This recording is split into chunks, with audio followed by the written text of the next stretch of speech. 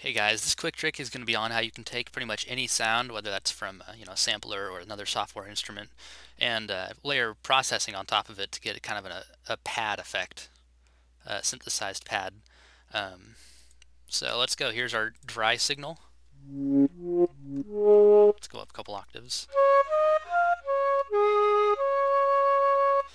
It's pretty much as dry and as simple as a sound can get. Um, happens to be one of those Chinese Chinese flutes from the EXS24.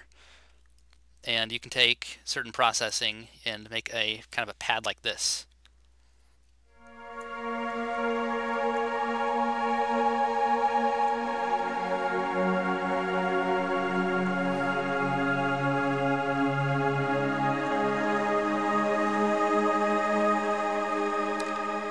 Now I could see this being perfect for a uh, kind of a spatial track or maybe an ambient uh, kind of sound you're going for.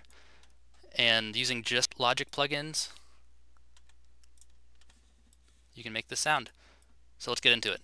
Um, this example that I'm using, I'll go ahead and go to the Create. Um, I'll open up the EXS24 stereo. Go down to uh, World. Let's go Asian. And I'll, I'll just open up the same flute.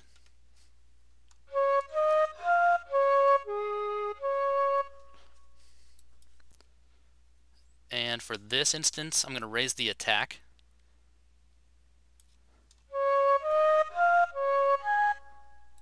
A little bit more. Good enough. And uh, make sure it's on poly. And for the kicks and grins, I'll put it on unison. Next up, I'm going to open up the enveloper.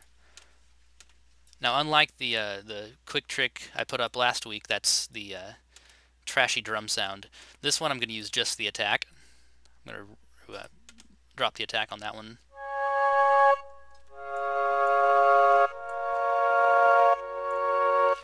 So instead of uh, like last week's where the release is kind of kicked up, this week um, for this trick, it's going to be just the attack. I'm going to lower the attack and raise the time.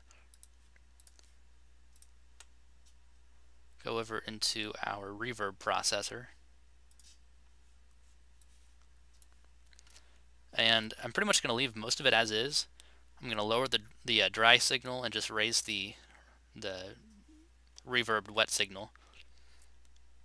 Kick up the time. I Let's go ahead and go 15. It's a good number.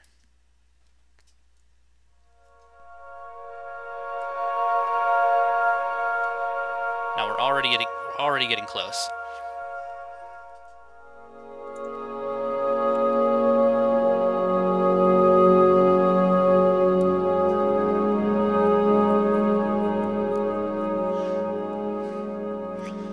Now you can change the length or the the uh, the amount as much as you want, kind of make it for your specific application. And I'm going to compress it. Not too much. I'm just going to kind of stabilize the, the signal.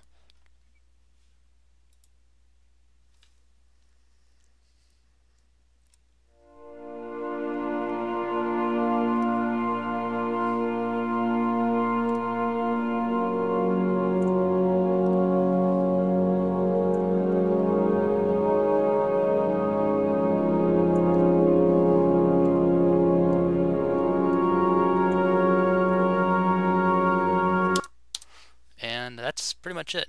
The my favorite reverb personally is the Valhalla Shimmer, and with that I can get kind of a, a spatial, almost heavenly sound. That's what I think of it. So I raise the size just about halfway almost. Uh, the mix all the way up, and this is the first sound I showed you, but I'll show you again.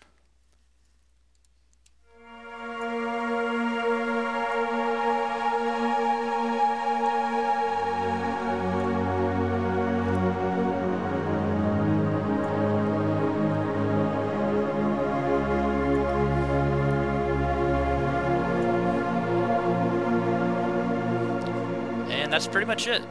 I mean, you can layer different processing effects on it, like if you wanted to uh, put a phaser or you name it in here. Um, I would recommend going after the reverb. I use that mo mostly for sound design, um, but there are no rules. It's all yours. Have fun, and I'll see you next time.